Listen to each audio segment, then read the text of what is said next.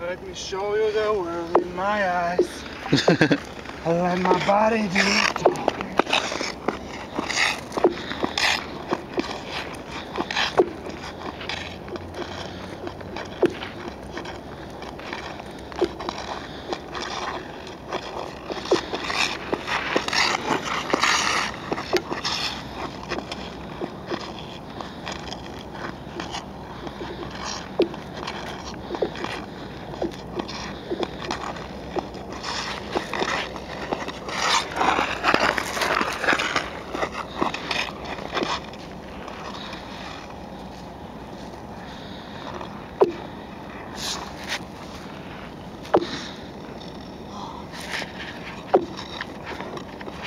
Game over, baby.